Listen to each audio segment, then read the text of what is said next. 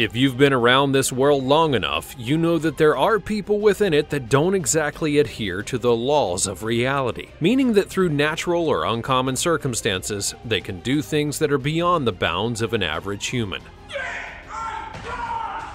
And I'm not even talking about technically about super geniuses or savants. I'm looking into those who seemingly are superhuman when we all know that they are indeed simply human. One of the biggest examples of this are monks. Here now are 20 superpowers that monks have in real life.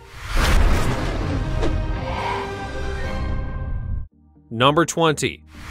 Lama Itigilov a monk started meditating and told people to wake him up in 75 years. This is what happened next. Some of you are far within your rights not to believe the superpowers that people claim they have, as many who make these claims are indeed ones who have either seen science on their side or think it's a con. But when it comes to monks, there are few that have done things that quite frankly boggle the mind in a way that neither science or true con artistry could define, and now we see that in Lama Dashi Dorzho Itigilov Lama, as a young boy, had just one desire he wanted to become a monk. Eventually, at the age of just 16, he went out and began his training at the local monastery, and over time became the Lama, or leader of, a group of Buddhist monks. At the age of 75, he told his followers that he was ready to die, but his followers didn't want him to, and so the Lama called them together and had everyone meditate, which included himself, and when he was meditating, he passed on, or did he? Because his last will and testament states two different causes. The first was that he would be buried in the position that he died in, which was the lotus position of meditation, and secondly, that after a certain set of years, the body would be checked on. And that's where the superpowers come in, because despite him having died in 1927, his body was shown not to have any signs of decay. To be clear, there are things happening to the body, as his face and skin would show, but at this point in time, nearly 100 years after his death, he should be nothing but a skeleton, and instead he looks like he's still meditating. As such, some monks believe that he is alive and just meditating in a deep state of nirvana. Before we go on, like this video, smash the subscribe button, and click the notification bell right now, or this centipede will crawl on your face when you're sleeping. Number 19. Shi Liliang. There are various ways that these monks can obtain their superpowers, but the most consistent one is that many people have documented over the years that monks often use their time at various monasteries to train in ways that can improve their body's abilities beyond the norm, and they dedicate themselves to this training more than any other humans out there. Shi Liliang is a great example of this. He was a man who was inspired by kung fu movies, something that I can relate to, and became a monk in order to be like them. As such, he decided and to dedicate himself to specific kinds of training, which included ones that would help him to walk on water. And no, he is not actually Jesus Christ and cannot actually walk on water. Rather, he places a string of boards upon the surface of a lake and then would run across the boards at such a quick fashion that he wouldn't sink. Rather, he would race across them and basically walk on water. How did he achieve the ability to do this? Well, he would walk with iron bars on his feet. By his own admission, it does take a lot of focus, balance, and skill to make it all work. And when he did his record breaking attempt of doing this walking on water for over 120 meters, he said that he's likely the only person in China, if not the world, to have accomplished it. And lest you think that this is not impressive, how about you go set up some boards and see if you can walk on them without instantly sinking? Then watch this man do it in a long distance sprint. Number 18. The Rock Climber. It may sound not so impressive at first, but don't worry, a twist is coming. A certain man named Vung would be visiting a temple in the capital city of Laos, where he had to climb up a rope. To be clear about this, he was on a mountain slope, and thus the rock was to help him get a better grip and not necessarily risk falling back down. Not surprisingly, Vung had to stop during the ascent in order to catch his breath and get a little bit of rest, and when he did, a monk just happened to pass him by. And by pass him by, I mean that he literally walked up the slope of the mountain, which as the footage shows was at a steep angle, with nothing to support him. He also had no shoes on, which meant that he was walking up this mountain in literal bare feet without any complaints or whimpers. Vung then pans the camera to himself, showing the long rope that he's clinging to, all while watching the gravity-defying monk reach to the top. It is indeed an impressive feat. Now, as some would comment on the video, there's a caveat or two here, but it's not one that might mitigate what we're seeing. For example, one person would note that he has bare feet in his walk because it gives him more grip, and it would, but it'd also cause a whole lot of pain for your feet, and that would be bad. Another one notes that he walked at an angle to counteract the incline, which is also true, but that would only help so much. No matter how you look at the footage, I doubt that many of you out there would be willing to try this feat by this monk. Number 17. Shi Yong Kang.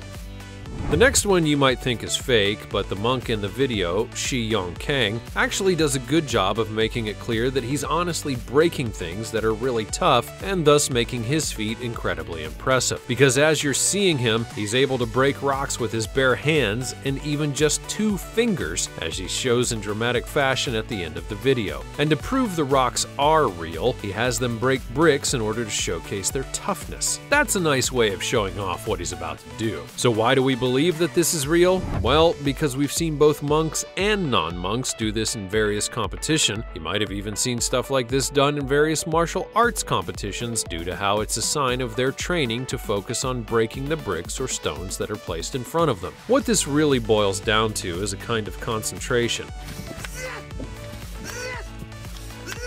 Monks and martial artists in general train themselves to focus their body's energy as well as having the right technique in order to break whatever's in front of them. And if they do it the right way, it works, and if they do it the wrong way, it can be hilarious to see them hurt their hands. But for those who succeed, well, you just have to cheer them on. And you can see why this is going on with Shi Yong Kang. He doesn't break the stones on the first attempt, as he has to have the right pressure point and technique. Just so you know though, while it is impressive, there are fakes out there, and you should never try this at home unless you've had training yourself. Number 16.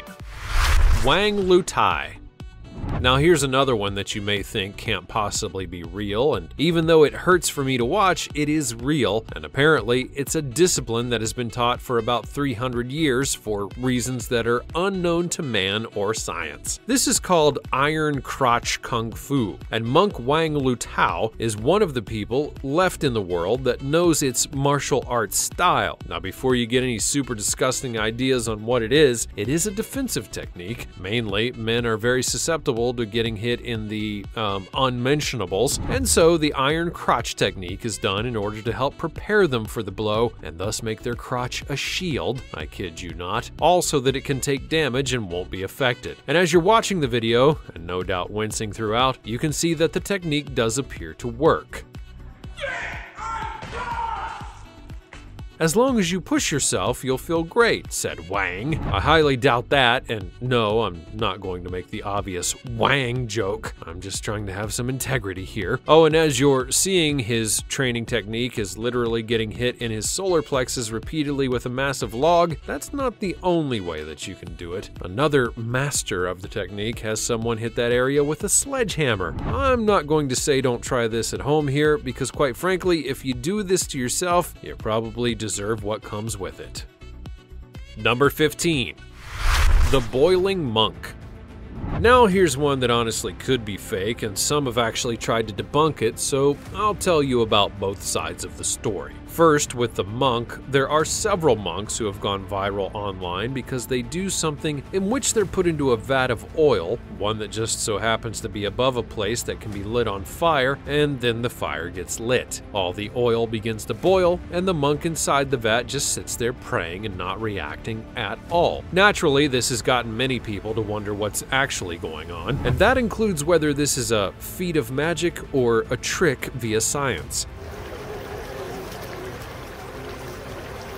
In terms of the latter, I can say that there are scientists who actually believe that this is fake for very basic reasons, and you can't tell just how hot the oil that the monk is sitting in is, and that matters for a key reason, because while the fire is obviously real as people are watching it burn, how it's affecting everything else is a different matter. As one scientist would note, it doesn't look like the oil is actually boiling, which means it could be warm, but not to a temperature that could harm the monk overall. The vat that he's in could also be shielding the heat from the fire so that it can't actually burn him. Without seeing it done live and examining the temperature of the oil itself, it is hard to tell. But if it was a true feat of a monk's skill, it would be very impressive. Number 14.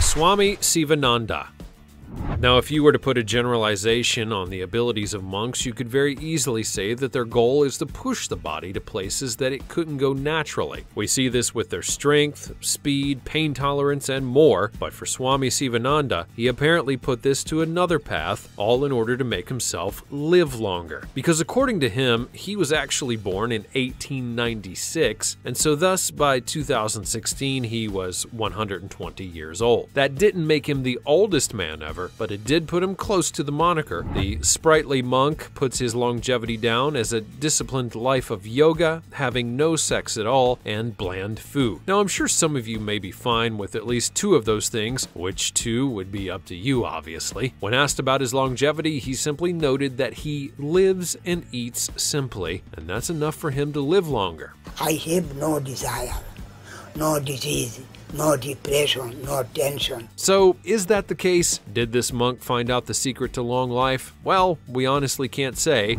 not for the reasons you're probably thinking. Rather, I can't say it because he is well and truly a sample of one. He's lived this way, and that's impressive, but that doesn't mean it's the way to live longer, and that's not how it works. In fact, there are all sorts of ways that you can try to live longer, and while his path might be one of them, it's not the sole way. There have been many people who have lived lived well beyond 100 just by living their daily lives. There was even one woman who lived to be over 100 while smoking and drinking, and those are things that are supposed to make you die quicker. So again, it's one path and not the path. Number 13.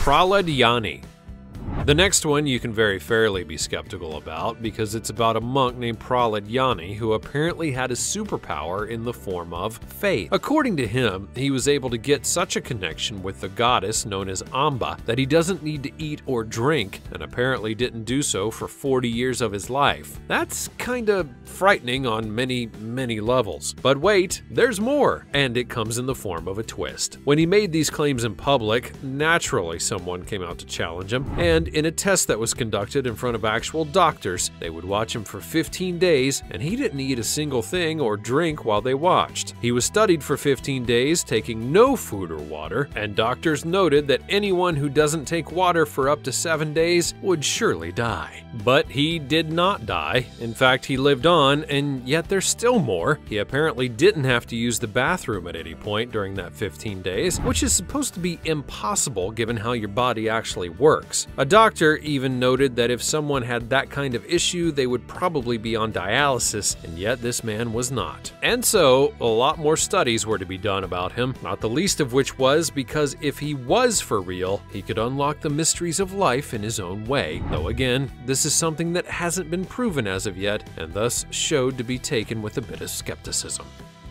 Number 12. The Pane of Glass. This is a curious one because there are some who believe that this trick is 100% real due to how monks do it almost all the time when they're performing their feats of skill. And yet, we have scientists who have tried this and felt that it was fake. So here's how it goes. One monk holds up a pane of glass, and on one side of the glass is a balloon. Another monk stands on the opposite side of the glass with nothing but a needle, and he then hurls that needle at the glass, and the needle goes through it, popping the balloon in spectacular fashion. It's a neat trick and one that's been studied by many over the years, and the biggest ones to do this was Mythbusters. As they tried to complete this task themselves, they couldn't even do it. They even brought in a Major League Baseball pitcher who could hurl baseballs over 100 miles per hour, and he couldn't accomplish it. They tried more thin needles, more thick ones, and various variations, all in order to test and get things to work. The MLB pitcher actually got the needle to shatter upon the glass due to how hard he threw it, so if it is fake, how are the monks accomplishing this? It's believed that they're using both sleight of hand and really thin glass, though obviously nobody can say that for sure. This is one that you could try for yourself, just make sure that you have some protection on because needles can fly back at you if they bounce off of glass. Number 11. Temperature control. Believe it or not, this is a superpower that we not only know is true, but we've seen non monks do it in their very own way. In Tibet, there's a group of monks who train rigorously in the art of meditation, and they do so at frigid temperatures. But that's where the superpower comes in, because that meditation is having them focus not on something outward, but on something inward, being their core body temperature. Yes, they're able to control how their body stays warm and how it can resist the effects of the cold. The room that they train in, for example, is only 40 degrees Fahrenheit, making it cold by default. Then, as they reach their state of meditation, wet blankets are placed upon them in order to further make them cold, and yet they never flinch. The technique itself is known as Tummo, and it's been studied and even partaken in by doctors and non monks. In fact, a very famous endurance man known as Wim Hof uses these techniques, all in order to dive into freezing waters without any issue, as well as run through deserts without getting overheated or even needing water. While it may sound basic, it is absolutely a case of mind over matter. These monks and others are pushing everything else out of their minds, all so that they can have better control over their bodies. That especially includes stress, which can get your body to do various things on its own. And yes, you could learn this technique yourself. It's just going to take time and patience in order to master it. Number 10.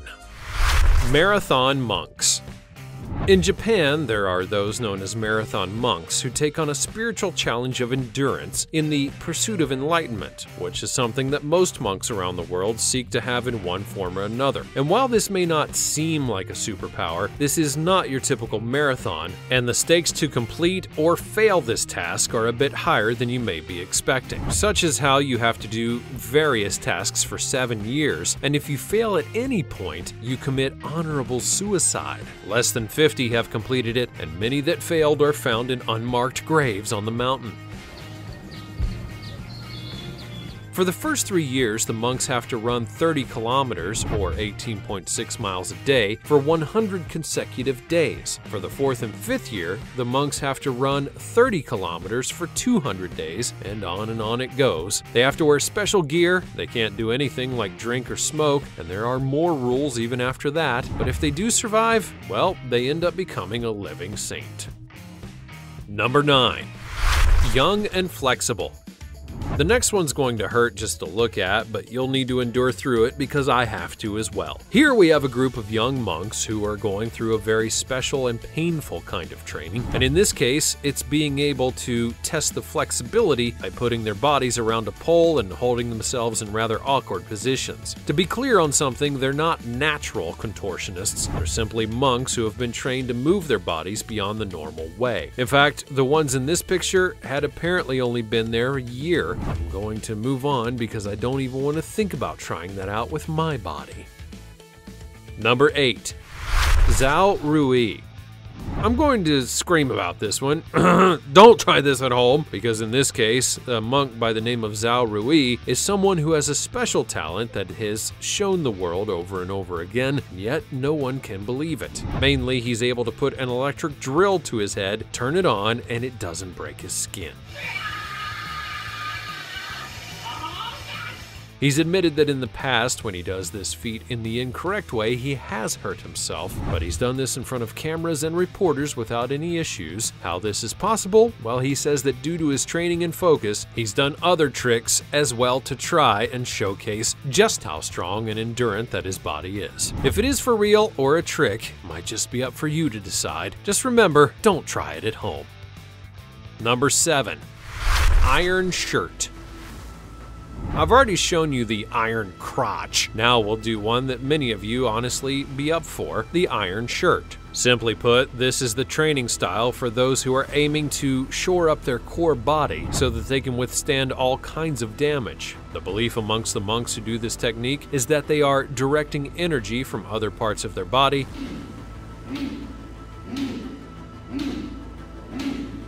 to the one being affected, the chest, stomach, and so on, and thus are reinforcing it to ensure that damage is kept to a minimum. In the Shaolin version of Iron Shirt, the practitioner would do things such as lying on a stump or supporting tablets of granite on the chest with the goal of toughening the body. It is hard work, but the payoff could be very helpful in a fight. Number 6. Light Body this one's a bit more in the nature of finesse. The light body technique is defined as a way of strengthening the internal, but in more layman's terms, it's a way to make yourself feel and act as light as a feather, so you can do things that people with your same weight would do, but without the training cannot. This is said to be an incredibly hard technique to get down by the monk's own words. You can't rush into it as it's a true mental challenge as well as one of energy. But if you are able to make it through, you can do things like rest on a branch without fear of falling off or even walk around the edges of a basket with ease. Number 5. Monk Levitation Levitation is indeed a superpower, as many comic book characters would tell you, but can people do it? Well, the better question is, can they actually do it, or is there a trick involved? Most times it is a trick. You might see street performers doing this by making it appear as though they're levitating, when in point of fact, they're sitting on something that's obscured by their clothing and props. To be clear, there is a Buddhist teaching that's said to help someone achieve true levitation, yet there is a catch. According to Buddhist precepts, a monk cannot show his supernormal powers, such as levitation, before a layperson. One who shows it to you is actually breaking the precepts, so you either have to become a monk in order to witness it, or find a layperson who has supernormal powers to witness it for themselves. And thus, no one can really prove that it actually happens. Number 4. The Sixth Sense now here's one that many people believe in for various reasons, but in monk teachings, it's one where you have the true cognitive awareness of all that's happening around you. It doesn't always happen, as there needs to be a shift in the field in order for you to pick it up, but if you are truly in tune with all of your senses, you'll be able to unlock it for yourself. This may sound vague and convenient, but again, there are plenty of people who believe in the concept of the sixth sense. After all, there are people who have felt or detected things that their natural five senses were not able to pick up. It's up to you if you determine to believe it or not. Number 3.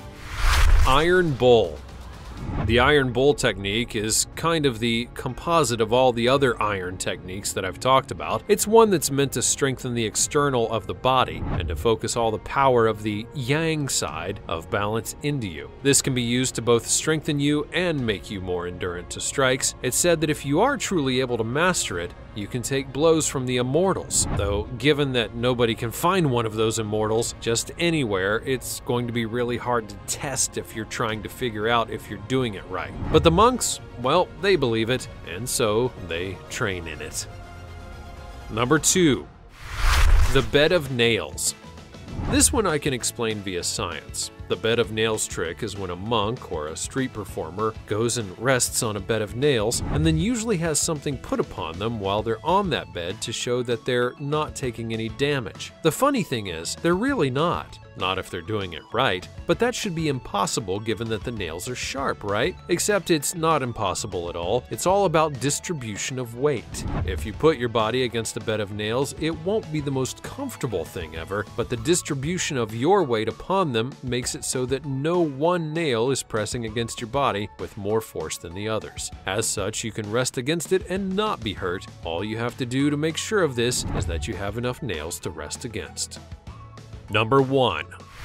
Iron Throat Finally, we have one last one that seems like a trick, but the monks prove that it's not. The iron throat technique is where they go to great lengths to try and strengthen their throats. But why? Well, it's so that they can withstand blows and even bend spears with just their throats. As you can see here, the monks are able to put the spears against cars, and just using their throats, they actually bend them. The training for this apparently is intense, given that the throat is quite vulnerable, but the results do indeed speak for themselves, and if you don't believe in it, well, then I don't blame you. That's all from the realm of monks who seemingly have superpowers. What did you think of their particular set of skills that they can all do? Do you wish that you could do some of these things, or do you have another monk or video featuring one that has another set of powers? Be sure to let me know all about it in the comments section down below. Check out the other cool things that are showing up on the screen, and I'll see you next time.